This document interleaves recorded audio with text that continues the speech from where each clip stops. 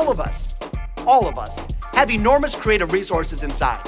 In fact, the research is crystal clear that as human beings, we are hardwired to be creative. That's our natural state.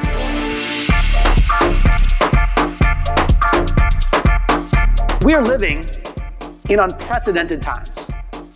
And one thing we know for sure is that we can no longer simply rely on the models of the past and expect the same result. And too often we overestimate the risk of trying something new, while we underestimate the risk of standing still.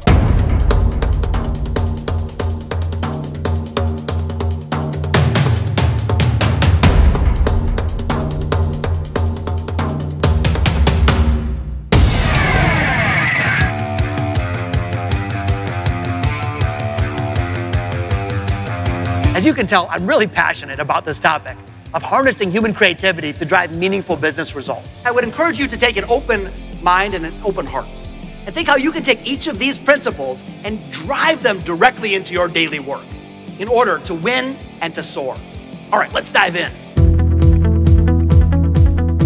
So, this morning, it's important to me to not only give you some fun stories, but to make sure that you're walking away better equipped I want to make sure that you leave here with some specific and tactical tools that you can apply in the months and years to come.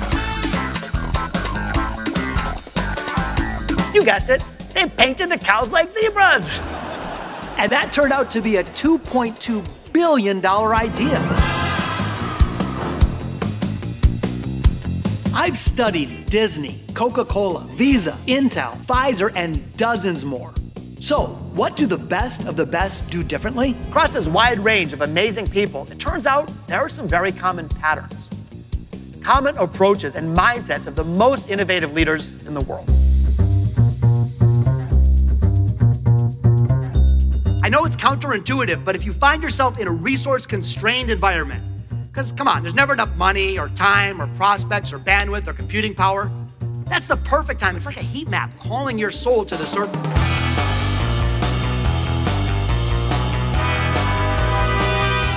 Bring it back and how do you put it into action? Today, the stakes have never been higher. The threats have never been greater. The competition has never been more rough. But I truly believe the opportunity has never been more profound. Let's seize it. Let's make today our jumping off point. Now is our time.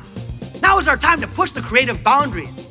Now is the time to prioritize this gift that we all have of human creativity and imagination. If we can do those things, if we can cultivate innovation system wide, not only will our success today look good, but our best days will be yet to come. We're going to dwarf what we've done in the past. And truly, together, we'll be able to seize the enormous opportunity waiting just outside those doors. Thanks again, everybody.